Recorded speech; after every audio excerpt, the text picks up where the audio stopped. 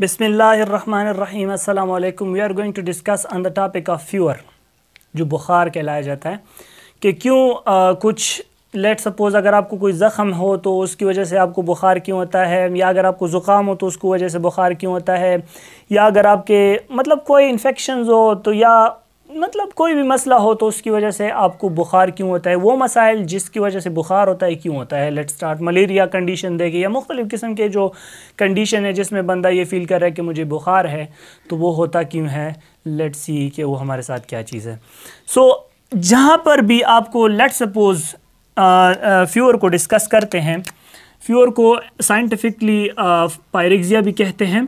Pure को क्या कहते हैं? फ्यूर को पायरिक्जिया पायरिक्जिया इस इस नाम से पता चलता है कि ये जो है पायरोजिन की वजह से होता है। किस चीज़ की वजह से? Pyrogen.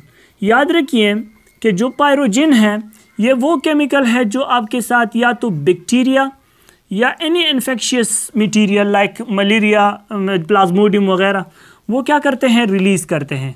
So the chemical that is release by the bacteria let suppose अगर किसी जगह पे यहाँ पे कोई इन्फेक्शन है तो ये आपके साथ फॉर एग्ज़ाम्पल यहाँ ये बैक्टीरिया है तो ये बैक्टीरिया रिलीज़ करते हैं केमिकल को जिसका नाम है पायरोजिन या या आपके न्यूट्रोफेल्स जो हैं इसको देख के रिलीज़ करते हैं पायरोजिन न्यूट्रोफेल्स ठीक है? तो ये पायरोजिन आपके ब्लड में क्या होते हैं? शामिल हो जाते हैं। अब यहाँ पे रिलीज़ हो गया तो ब्लड में जाके शामिल हो गया, जिसने आपके ब्रेन तक स्टेमुलस को लेकर गया, और ब्रेन के हाइपोथैलेमस में ये डिटेक्ट होते हैं कि पायरोजिन मौजूद है। ठीक है? तो ये पायरोजिन इस ब्रेन को ये इम्पल्स दे रहा है कि क्या हो रहा है? कोई ना कोई इन्फेक्शन है, तभी ये बैक्टीरिया या न्यूट्रोफिल ने इसको रिलीज़ किया हुआ है। तो आप क्या करें? तो आप टम्परेचर को इंक्रीज़ कर दें।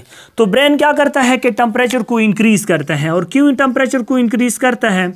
टम्परेचर इसलिए इंक्रीज़ करता है क्योंकि इस इंक्रीज टम्परेचर से ये बैक्टीरिया मर जाएँगे।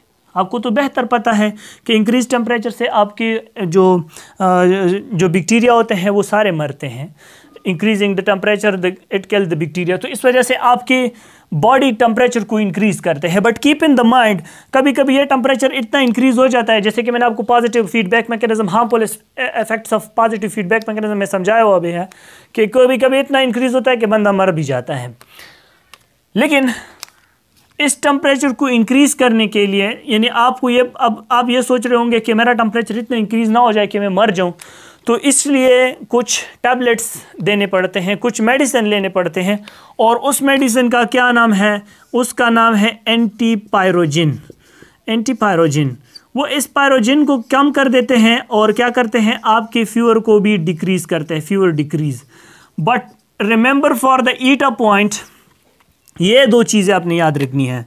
Antipyrogen decrease the temperature decrease the temperature और pyrogen increase the temperature increase the temperature तो ये चीज़ें आपने याद रखनी होगी कि एंटीपायरोजिन डिक्रीज द टेम्परेचर और एंटीपायरोजिन में आपके साथ क्या हो सक, आ सकते हैं।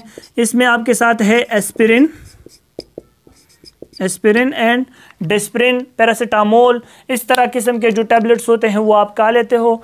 तो एंटीपायरोजिन आप लेते हैं for the decreasing of fever and temperature और पायरोजिन क्यों टेम्परेचर को इंक्रीज करते हैं? ता, ताकि ये बैक्टीरिया किल हो जाए।